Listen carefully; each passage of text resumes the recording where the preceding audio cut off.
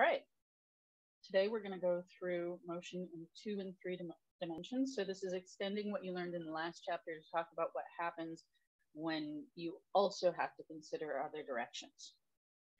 We're going to start by, re by reviewing some extensions of vectors to three dimensions. This somewhat overlaps with chapter two, but if vectors were entirely new to you in chapter two, this it, it, it probably didn't all stick, so we're going to refresh a little bit. Um, when you have, uh, when you're only considering one plane, you have coordinates in x and y. When you're considering three dimensions, you have coordinates in x, y, and z. Um, bear with me here because my stylus isn't working, so I'm having to use my finger.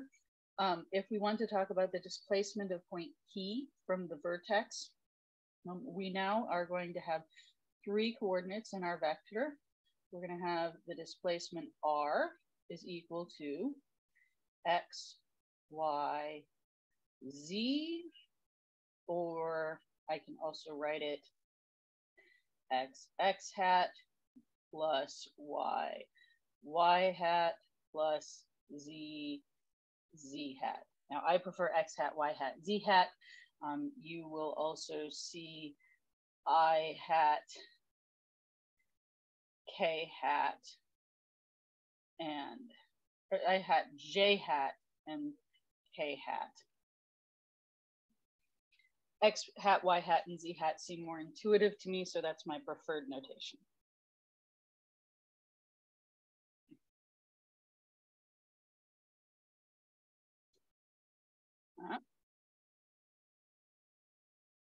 So now we're going to talk about the displacement to, between two vectors. So most of physics, your, your choice of coordinate system is completely arbitrary. So we're often describing things by the relative position of two points um, rather than the absolute position. So if we want the difference in position, let's say in the way this is drawn, the a particle might move from point P1 at time T1 to point P2 at time T2. I don't want to write all of those subscripts because it's very hard in general with a stylus on a whiteboard on Zoom, but it's even harder with your finger. Um, so we're gonna write this as R2 which is the final position, minus R1. Anytime that we're using a delta, we always do final minus initial. And so sear that into your brain right now. So that's going to be x2, y2, z2 minus x1, y1, Z1. And then we can write this, I'm gonna move it down here because it's gonna be long. That's x2 minus x1, comma, y2 minus y1, comma, z2 minus z1. So that is the displacement of point two relative to point one.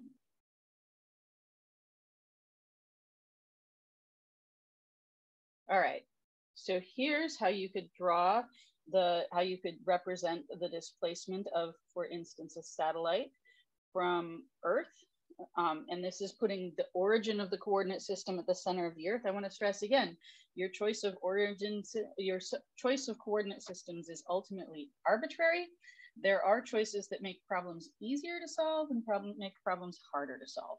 So you're trying to look for a clever choice that makes the math less ugly. But if you choose this choice, um, you would, if you have a satellite move from this position here um, to that position, um, you would do the same thing. The uh, your delta R, bear with me. Your delta R is going to equal the final R minus the initial R. Same thing as on the previous slide. Um, and just like when you're working in two dimensions, you can represent a vector by its magnitude and its angle instead of its coordinates. So this is taking the um, something similar to the vector that was on the previous slide. Uh, this is not quite the same vector, but you're, you're breaking this delta R into a component along the x-axis and a component along the, the y-axis. Now, I do want to stress this is often the choice of coordinate systems we choose relative to the Earth, but it is ultimately arbitrary. Here you can see an example of a particle undergoing Brownian motion. Brownian motion is what particles do, for instance, in a liquid when they're moving around, but not in a, they're not in a straight path um, because they're going through collisions with things, for instance, in the liquid. Um, so you can see here the, um, the displacements at each given point relative to the previous point, but your total final displacement is only impacted by whatever the initial position is and whatever the final position is. And finally, what we're really working towards is describing the trajectory of particles. Um, and you can, so here this is in two dimensions because it's a lot easier to draw in two dimensions than three dimensions. And we are looking at the displacement of a particle relative to its it over some interval time delta t. Um, so we can approximate the velocity as the change in the position vector divided by the time. Now, as you make this time interval shorter and shorter and shorter, it's going to get closer and closer to the tangent to the, the particle. And mathematically, we can write, we can say that we, as we take when we take the limit as delta t goes to zero, we get d r dt, the actual derivative. And that derivative itself is the velocity. Um, now we often can use this form, delta r over delta t. Um, you can use it exactly if the velocity is constant um, it, because or sorry, you can use it exactly if the velocity is um, if the velocity is zero or in one direction and if it's not rotating. Um, there's a few cases you can use it exactly. You often can use it approximately. Um, which is very useful to get some feel for what you should do so that when you charge ahead and you use fancy math that you might not be totally comfortable in, you can at least qualitatively check that your answer is right. A lot of working through the toolkit that you need as a physicist is learning how to cross check your work because you will make mistakes. The difference between a novice and an expert is not whether or not they're making mistakes, it's whether or not they're able to catch their mistakes along the way. Okay, so now we're gonna move to free fall in three dimensions. And I'm gonna set some problems up, but I'm not actually gonna solve them. Um, when you work in three dimensions, um, you can break each component into different pieces. So there's an implicit coordinate system. What I would like you to do when you're working through your problems is draw it explicitly to make sure that it's very, very clear. This is gonna help you as well as me and the TA who's grading your homework. Um, the more explicit you are, the better. So by default, we work in a coordinate system with X along the um, X parallel to the ground and Y perpendicular to the ground. Now, this is physics. You could choose to be difficult and choose to call that z instead of y, or uh, you could orient, you could have all the motion in the x direction. If the problem doesn't specify, we have to accept it anyways. Um, but you're probably going to find a lot easier to just use the most straightforward coordinate system. Now, when we have motion in more than one dimension, we can split it apart into, um, into different coordinates. So when we have these um, free fall problems, you have um, a set of equations that you can use. Um, the velocity at some final time is equal to the initial velocity um, plus the acceleration times time. The position as a function of time is equal to the initial position um, plus the velocity initially times time plus one half times the acceleration t squared. Now, in most of these problems, the acceleration is negative g. Um, and then we have another version, which is the one that I always forget. v squared equals v final squared equals v initial squared plus 2a delta x. Now I've written these for x. When you move into three dimensions, when you move into two dimensions, you have another set of equations that is all for the y-axis and another set of equations is all for the z-axis when you move into three dimensions. And when you move into more than one dimensions, I recommend adding subscripts to everything so that you don't forget which coordinate you're working with. Um, most of the time, you the what's initially hard is setting up the problem saying what you know and what you don't know. And then once you've set it up, then you do a bunch of algebra. And that's where people make a lot of the mistakes is actually in, in the algebra. So this is your toolkit and you're gonna be using it in most problems um, where you're dealing with free fall. And some of um, some of what you're going to be doing is trying to figure out the cleverest way to solve that tool, to use those equations in your toolkit um, to solve the problem. And I will say there's a redundancy that v squared, that the equation involving v squared is redundant with the other equations, but it's a pain to rederive. So I wouldn't recommend rederiving it every time.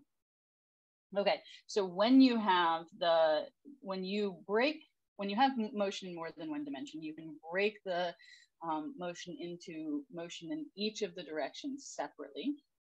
When you do that, um, you will see, for instance, that something that some projectile only has acceleration in the y direction if you draw on the coordinate system the way we usually do. And then along the x direction, the velocity velocity is constant. So in this case, where there is a soccer ball um, being kicked, the velocity in the x direction is constant. And in the y direction, it, there's some initial velocity upwards, and it is constantly decreasing because of gravity. So the net effect is that this soccer ball has a, uh, the soccer ball's trajectory is a parabola. Here you can see what's going on. And here Here's that complicated system of subscripts. It is a little tricky to work with at first, but I would recommend being, if anything, over meticulous about subscripts um, because it's going to, otherwise you're going to accidentally set the initial y velocity equal to the initial x velocity and it's going to give you a wildly wrong answer. Okay, so steps. You first break the problem into two independent directions along the vertical and the horizontal axes. This is for two dimensional. Um, the horizontal motion is simple because you basically have constant velocity. Um, and that means that in those sets of equations, a lot of, you have a lot of zeros. Um, and the, the velocity starts to decrease at the very top the velocity in the y direction is zero. Um, and then it starts to fall towards Earth again. And, but you need both sets of equations to, to solve the whole problem. And I would just like, so here, this is using complicated sets of subscripts. The x and vy are the x and y coordinates in each get at each given instant. Um, this, your book often uses zero for the initial, so v0. I tend to prefer v initial because then I can explicitly label the initial and the final velocity as opposed to um, v0 doesn't have a good counterpart for the final velocity.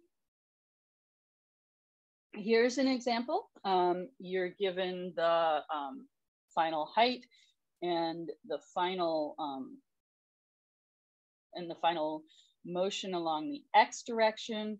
And um, this doesn't actually give you a problem to solve, um, but we can make one up um, and we can say, well, what is that initial velocity?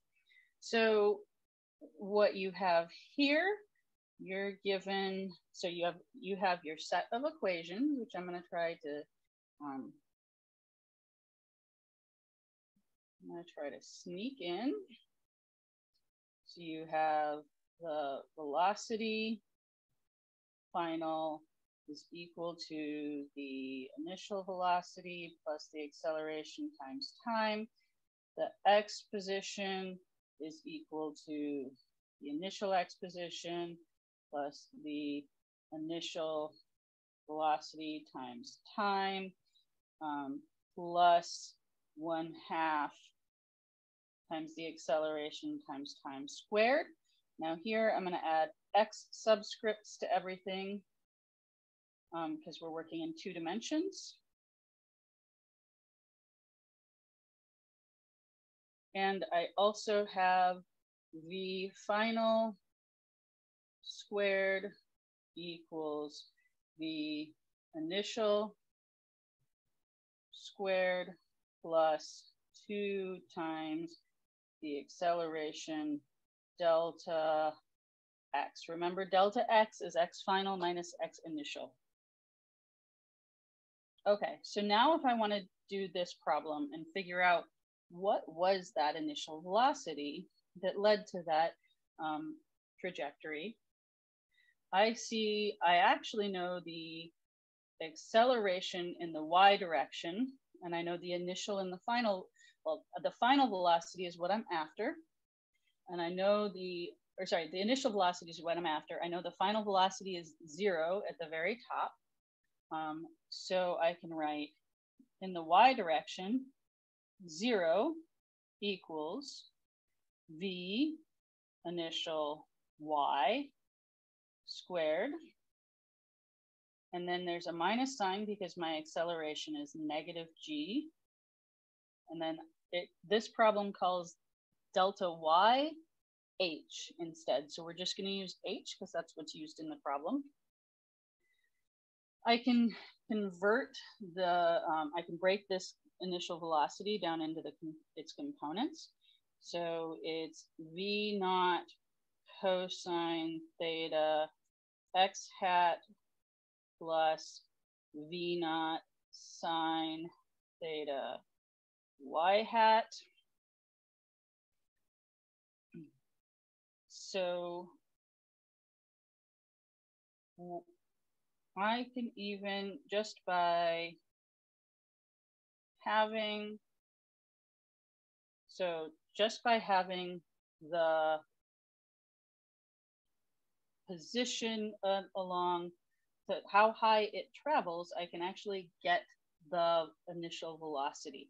So I can write this as V naught squared sine squared theta equals 2gh, or I can solve this and get V naught equals 2g h, the square root of 2gh over sine theta. So that's how far you would, how quickly you would have to shoot off the firework to get it to travel that, um, to get it to travel that high. and then you can also ask, for instance, how long it takes um, to get there. It, and if you wanted to do that, you now know the, um, you actually know the initial velocity and the final velocity. So you can say the final y equals zero equals that uh, v naught sine theta minus gt, and you can time how far it goes. I could ask a number of other questions about this. It's important when you're solving a problem to stop first and ask what you're trying to answer because you often can answer a whole bunch of different things and you don't want to do more work than you have to. Remember, a good physicist is a lazy physicist. Now, as an intellectual exercise, if you're doing a homework problem, it doesn't matter if you do a little extra. But on an exam, it actually can kill a lot of time and, uh, and leave you at a disadvantage. Okay, here's another example. Um, I'm not going to go through this in gory detail, but you can see um, uh, you can see there's an implicit assumption that you have the, the same basic problem set up, the same coordinates, and then you have I'm going to nitpick the book notation there because it should actually have an absolute value for the magnitude or at least not have the vector symbol because it you cannot set a vector equal to a scalar. And on an exam, you will get criticized for that. Um, okay, so you can calculate, given the velocity, you can calculate how, and this tells you how high up it travels. Um, so you could calculate how far away it's going to travel like that.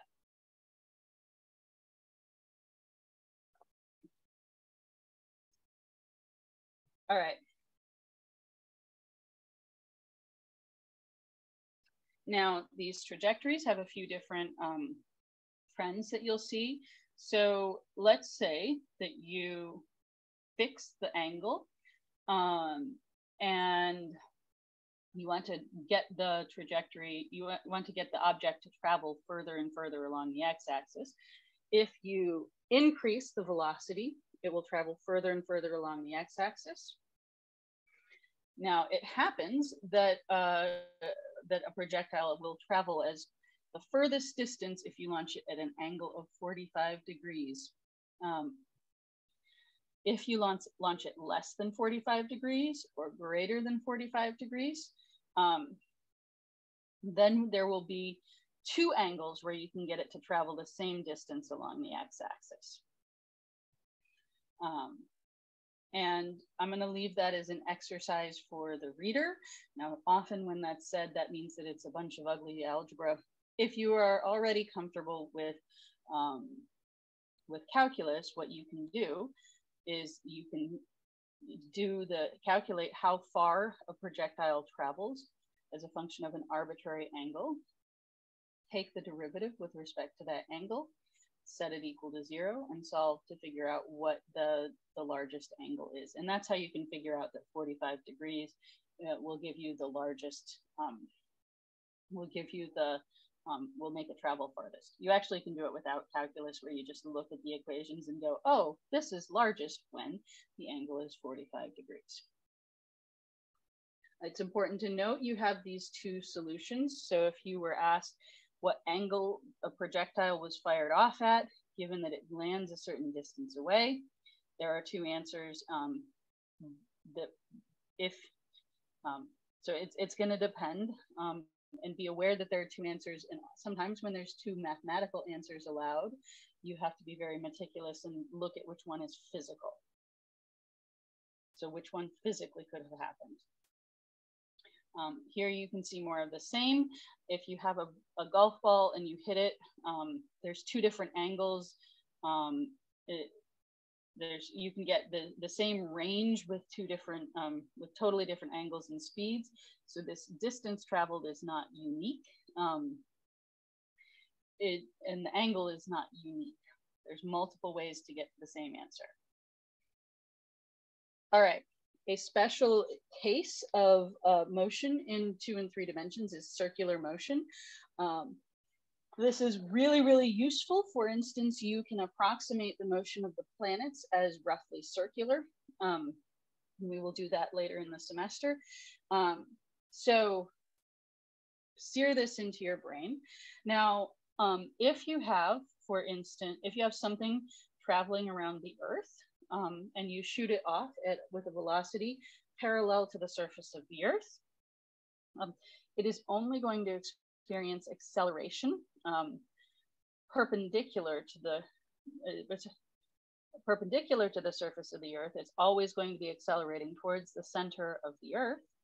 Um, and if you do it just right, as it travels around, it's it's always falling towards the center of the Earth, but the center of the Earth is moving further away as it um, because the center of the Earth, uh, so this sorry, the surface of the Earth is is curved, so the surface of the Earth is always moving further away. So a satellite is essentially falling constantly around the center of the Earth. Um, and when you have this special case where you have some type of circular motion, you can, I can tell you what the acceleration is. The acceleration is going to be the velocity squared divided by the distance uh, um, from the center of rotation. So a equals v squared over r. Um, when we add in gravity, we can start talking about um, what that actual force is, but we haven't gotten to the to forces yet. So, so um, when this is your acceleration, you, I can tell you what your acceleration is if you're moving in a circular orbit with a given speed. Sear it into your brain. Here you can see this graphically that that acceleration is always moving towards the, the center. So you have um, an object moving, in this case, counterclockwise. We always, by convention, have theta increasing. So your object is moving counterclockwise around the, um, around the center. Um, oh, you wanted, if you wanted clockwise, it would just change the, the sign of theta not a big deal, but by convention, positive is counterclockwise.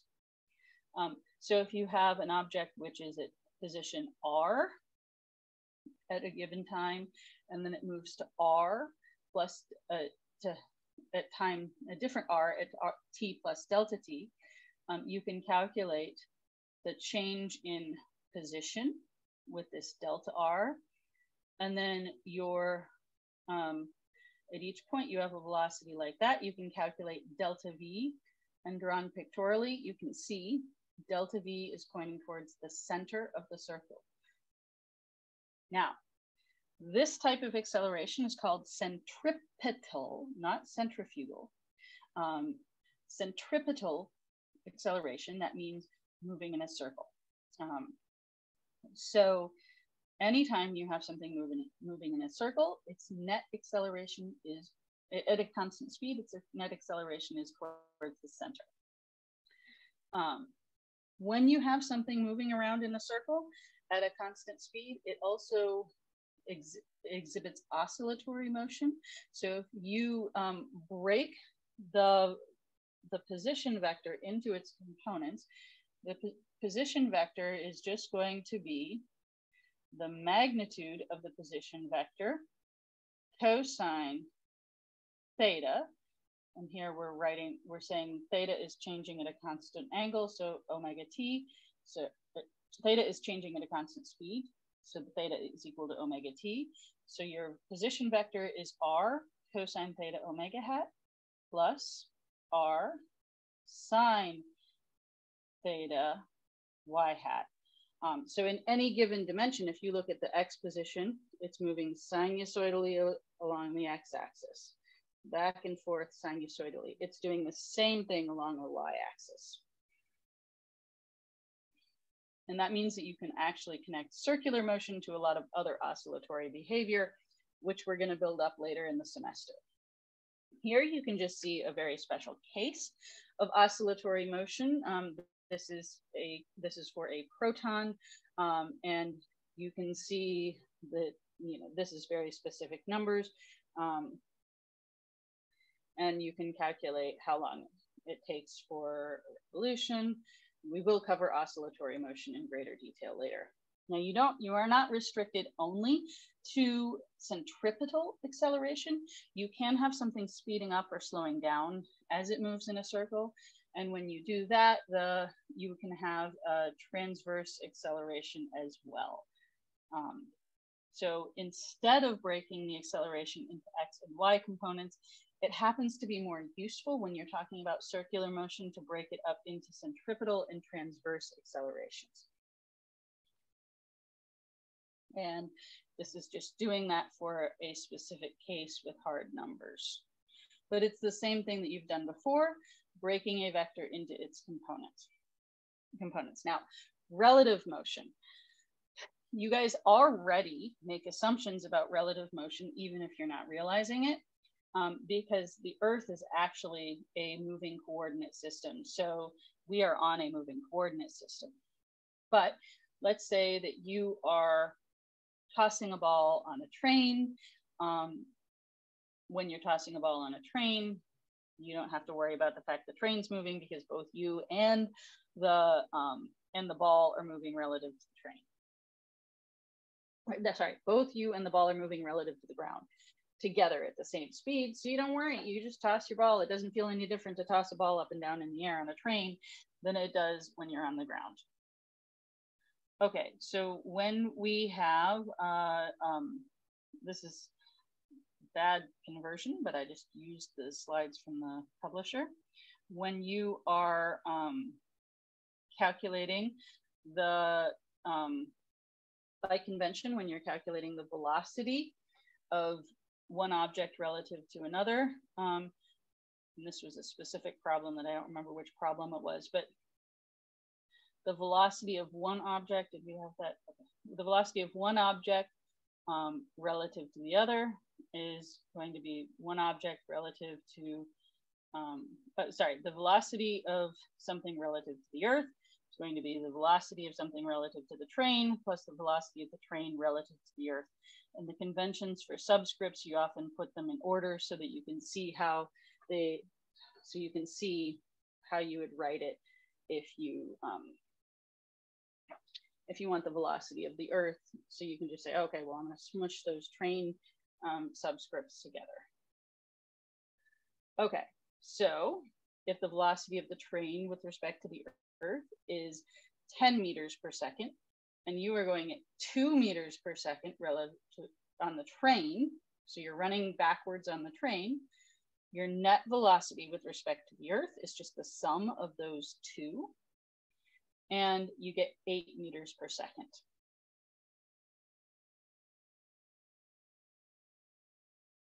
You can do this for coordinate systems as well, and we're not going to go as heavy into this in this class as you would do in upper division mechanics.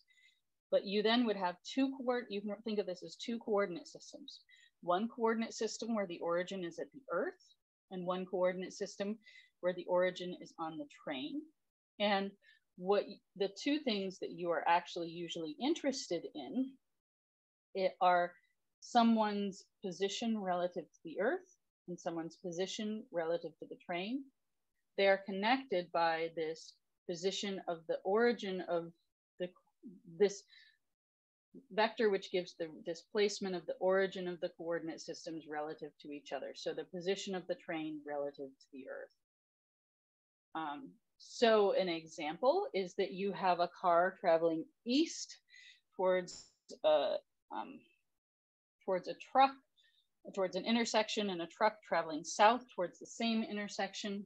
And um, then you're interested in what their velocity relative to each other is.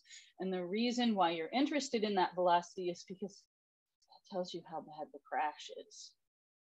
Um, so the velocity of the car relative to the truck is the sum of the velocity of the car relative to the earth plus the velocity of the earth of the of the truck relative to the earth. Okay, so we are going to stop there. and I will see you for chapter five.